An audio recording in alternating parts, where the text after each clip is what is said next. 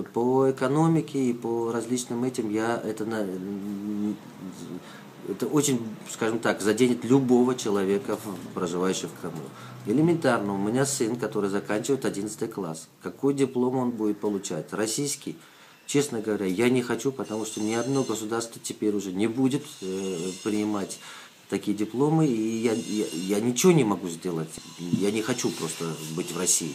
Просто не хочу. И не хочу, чтобы моим детям это было. Если я его отправлю учиться куда-то в другое даже государство, кто поверит теперь тому, что он действительно, действительно учился в лучшем учебном заведении Крыма? Это лицей для одаренных детей, э, э, в котором изучалось пять языков, в том числе и русский, который, как говорят, не давали значит, проходу этому языку. Пять языков он изучал, и э, это проблема, финансовая проблема, э, банковская. Так сегодня уже не работают э, приват-банки. Сейчас, в настоящее время, эти деньги, получается, есть вероятность того, что просто они потеряются.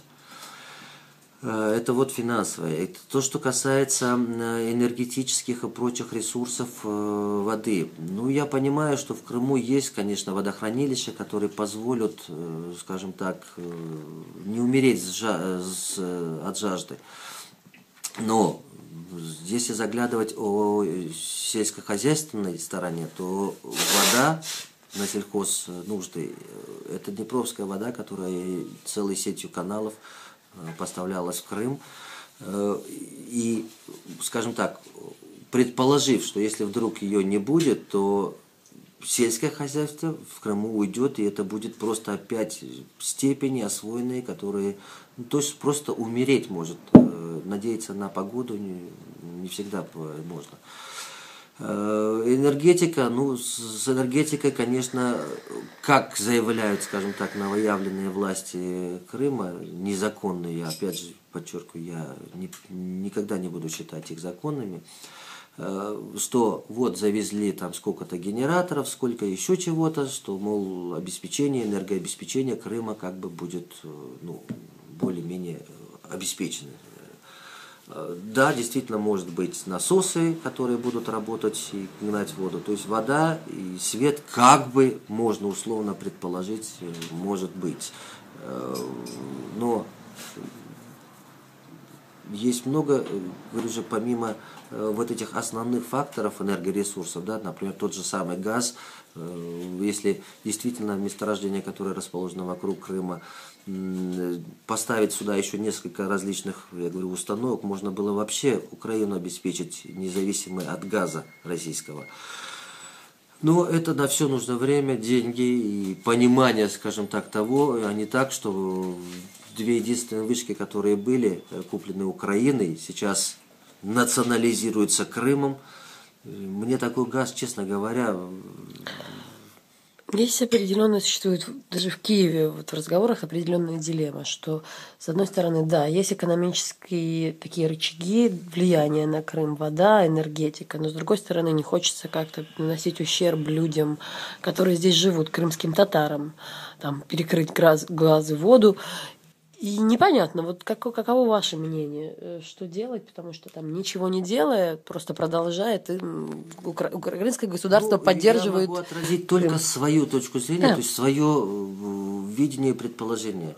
Если наши родители, скажем так, я говорю конкретно о своих родителей, потому что в Крыму ну, были, скажем так, депортированы, то есть они пережили это на своих, и они попадали по э, когда их переселяли уже там в Узбекистане, они жили в условиях, где тоже не было ни газа, ни э, воды.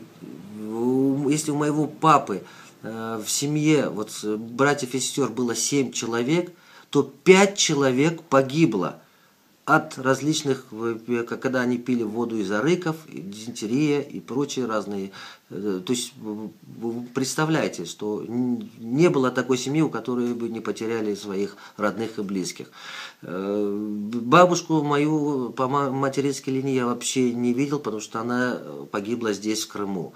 Э, дедушка, который был учителем гуманитарным, скажем, человеком умным в, в районе Балаклавы, мама родом оттуда.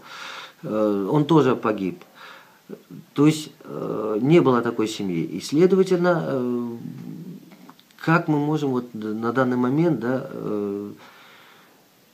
рассуждать о том, что мы не сможем стерпеть.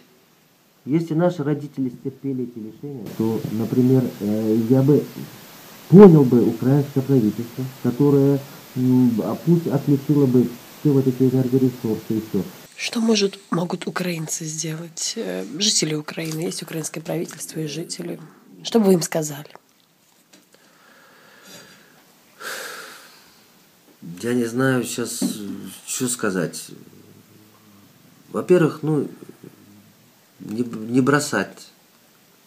Любыми методами, я не знаю, бороться. То есть политические заявления, все это, это крупицы, которые накапливаются, э, скажем так, против Российской Федерации, те же экономические санкции. Э, надо включить, да, хотя мы будем сейчас считаться к российской территории, и э, тот же самый э, экономический уровень, который был в России, будет все равно отражаться от нас. Ну, блин, потерпим. Я же говорю, если наши родители депортацию пережили, то я думаю, в 21 веке самое, мы сможем тоже выстоять